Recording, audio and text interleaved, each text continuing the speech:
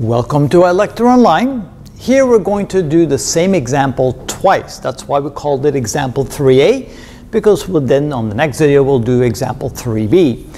But here we're going to take the function y equals x to the 3 halves and solve it using the function of x method. In the next video we'll use it we'll, we'll use the function of y method and you'll find out we'll get the exact same answer. So here is the graphical representation of the function. And notice if the function is written as f of x equals x to the 3 halves, the derivative would be 3 halves x to the 1 half, and when we square that, we get 9 fourths x. Now we'll go ahead and we'll plug that in here and see what we get. So we have the length is equal to, from the integral, integral from 0 to 1. Notice that these are x limits from 0 to 1 of the square root of 1 plus the derivative of the function squared, which is 9 over 4x times dx. And now this is not that difficult to integrate. Uh, it might help to write in the different formats. Let's try that. L is equal to the integral from 0 to 1 of the quantity 1 plus 9 over 4x to the 1 half power dx. And let me leave a little bit of room on the dx portion there. because here we're going to need the proper differential. And so I'm looking for a red pen so I can accentuate that. Notice we have a 9 over 4x inside the parentheses. So the, the derivative of what's inside would be 9 fourths dx. So I need a 9 over 4 here. But of course, I can just multiply by 9 over 4. I need to negate that and multiply in front by 4 over 9. So 4 over 9 times this shows I didn't change anything, but now I have the proper differential. If this here is u, then this here would be du, and now I'm able to integrate it. So this, in this case, it's not that difficult of an integral. So now we can say that the length is equal to 4 over 9 times the quantity, which is 1 plus 9 over 4. Oop, forgot the x, can't forget the x here.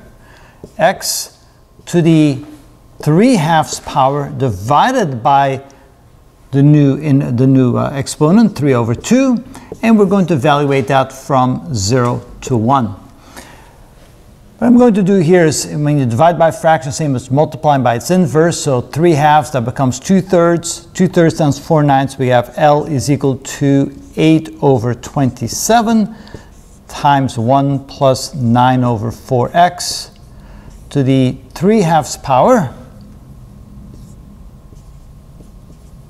and evaluate it from 0 to 1. All right, let's plug in the limits and see what we get. So now when I evaluate that, I get 8 over 27 times. When I plug in the upper limit, I get 9 over 4 plus 1, which is 13 over 4, to the 3 halves power. And then when I plug in the lower limit, this becomes 0. I get 1 to the 3 halves power, which is simply uh, minus 1, like that. And I can probably write it like this. So this is equal to 8 over 27 times um, 13 to the 3 halves power divided by 4 to the 3 halves power is equal to 8. Right? Because I take the square root of 4, I get 2 cubed, that gives me 8. And then I want this minus 8 over 8, like this.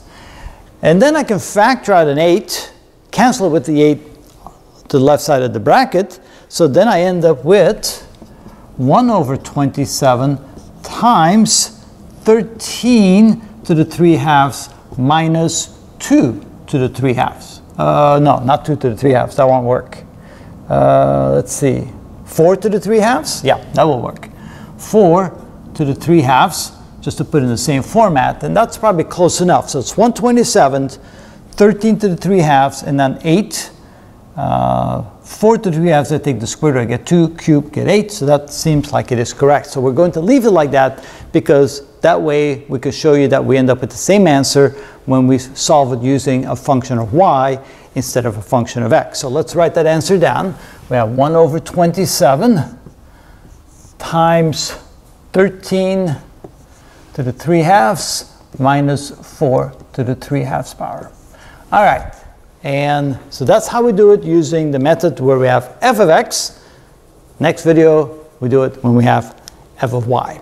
So stay tuned and we'll end up with the same, hopefully, same result.